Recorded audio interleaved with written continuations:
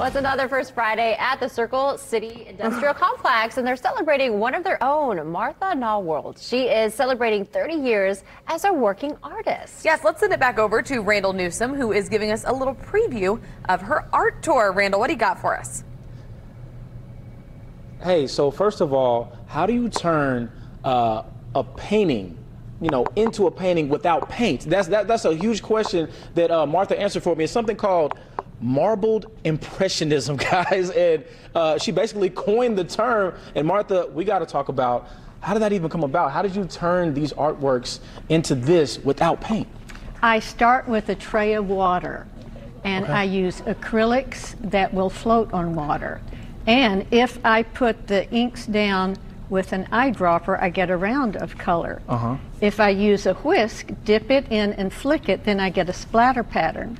So here this shows you from a round of color I pulled up that round here I've splattered on top of it and makes the foliage for the tree. Wow, wow. So that's essentially how these have been done. Awesome. And this is some of your latest work. This is Autumn Road 3. And you, you said, uh, even though you've been doing 30 years, your newest work is always your favorite, right?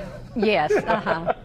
when it comes to this whole wall, you've done it all the same with that same strategy, marbled impressionism. Yes. Uh, just what does this work mean to you? It being so original and it's from you.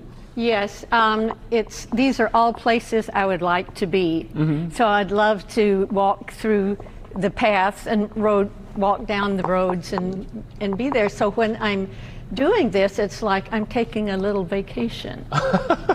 and now, now you're taking other people on this vacation tonight. Yes. Um, what are you looking forward to the most when things open up tonight at 6? I love interacting with the people. Mm-hmm. That's one of my favorite things. Awesome, awesome. Okay, you know what? We got to show you guys this before we get out of here. Um, these right here, you made these out of paper mache, paper, is that right? Paper mache, oh, and gosh. I've covered them with my marbled paper. Oh, So I've goodness. had these, they've been my studio cats for 30 years. I haven't wanted to get rid of them, but I decided that this year they're going to be for sale. Wow, wow. Um, do you think, um, are you looking for any uh, interns anytime soon?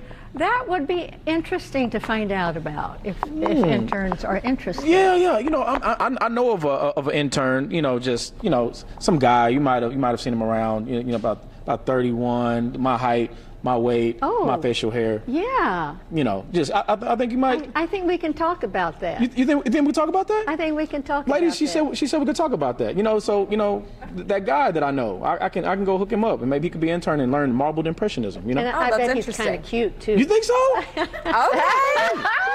yes. Randall, we got to make sure we can get you back here. Don't let her take you from us.